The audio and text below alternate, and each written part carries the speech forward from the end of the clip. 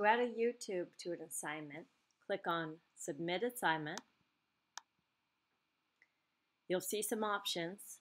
Click Website URL, go over to YouTube, click Share, and then grab the URL,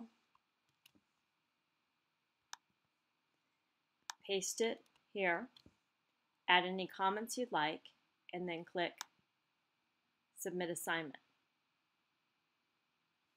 Once it's turned in, you'll get this message.